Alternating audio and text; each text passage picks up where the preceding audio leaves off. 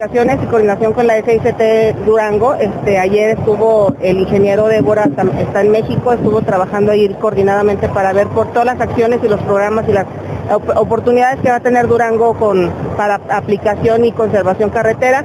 Ahí compartirles que en ese programa pues nosotros estamos, ya hicimos lo, lo correspondiente, ya mandamos las solicitudes para poder ser eh, candidatos y para poder, con todo el, diagnóstico que ya se ha comentado que tenemos, mira, de los 2.600 que tenemos en, eh, en, el rango, pues estamos esperando el 50% de atención para poder, ese es el, objetivo. Obviamente, el, propósito del programa o del, denominado bachetón, pues son 44 mil kilómetros en toda la entidad, bueno, en todo el país, y pues en ese sentido vamos a, por eso lo que queríamos era hacerlo de los primeros.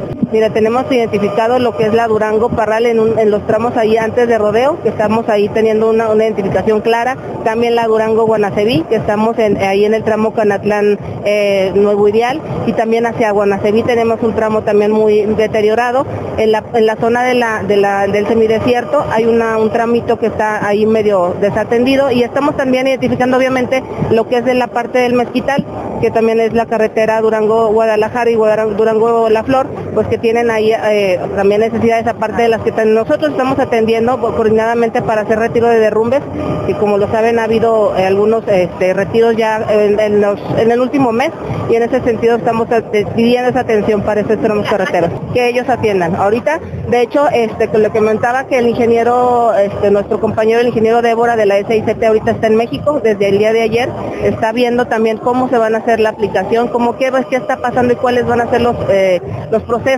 para poder hacer las aplicaciones.